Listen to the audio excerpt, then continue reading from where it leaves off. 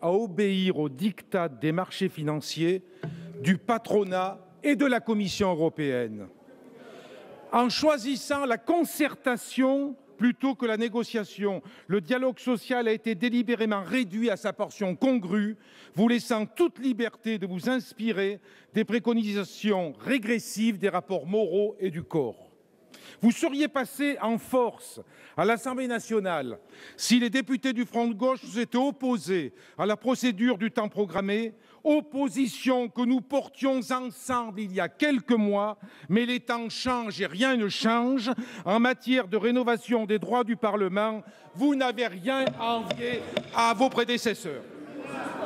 Quant au recours à la procédure accélérée, qui autorise une lecture seulement dans chaque chambre, il signe votre volonté de museler le débat public et parlementaire. Il marque votre acharnement à vouloir faire passer un projet de loi qu'une écrasante majorité de nos concitoyens réprouve. Car le constat est là. Ce texte prolonge, je dis bien prolonge, les réformes libérales engagées par la droite depuis 1993. Il n'est ni juste ni équitable. Les rares mesures que vous présentez comme des progrès ne sont en réalité que l'atténuation de recul sur lesquels vous avez renoncé à revenir. Elles sont bien loin de contrebalancer les régressions sociales de votre texte. Vous commettez un véritable racket des retraités en leur ponctionnant 2 milliards d'euros dès 2014 par la fiscalisation d'abord et aussi par le report de la revalorisation des pensions au 1er octobre avec à la clé une baisse mécanique inexorable des pensions par rapport au coût de la vie. Deux ponctions qui impacteront directement le pouvoir d'achat des retraités modestes, au premier rang desquels on trouve une majorité de femmes. Sur cet article, deux délibérations furent nécessaires pour venir à bout des réticences de votre propre majorité. Il n'y a rien dans ce texte, ni dans votre politique, en faveur de la résorption des inégalités salariales, professionnelles et de retraite entre les femmes et les hommes. Le gouvernement assume de ne pas engager de réforme des avantages familiaux avant 2020, comme il assume de ne pas résorber rapidement les écarts salariaux, mesure qui rapporterait 10 milliards d'euros par an pour le seul financement des retraites. L'égalité peut bien attendre. Car dans ce texte, comme dans votre politique, il n'y a rien qui permette une plus juste répartition des richesses, un financement équitable et équilibré de la protection sociale et l'ouverture de droits nouveaux. Oubliez la retraite à 60 ans, la justice et l'équité attendront également.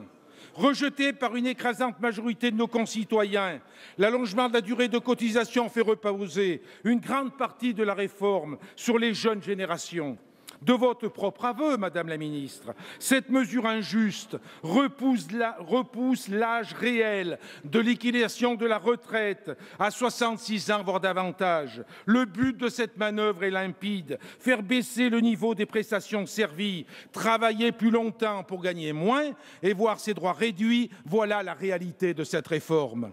Où sont l'équité et la justice quand 99% des mesures de financement pèseront sur les retraités, les actifs, les femmes et les jeunes, alors que les employeurs et le patronat sont d'ores et déjà assurés par le ministre de l'économie de voir leur robot l'intégralement compensé.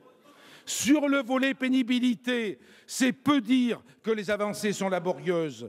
On est encore très loin du progrès de la justice sociale. Nous y voyons plutôt du mépris pour ceux des travailleurs qui, usés, cassés, après 25 ans de pénibilité, pourraient partir à 60 ans. Il y a trois ans, 60 ans, c'était l'âge légal de départ à la retraite. Et vous voudriez nous faire croire que c'est une avancée. Enfin, vous mentez par omission au peuple français en claironnant que cette réforme permet de sauver notre système de retraite par répartition.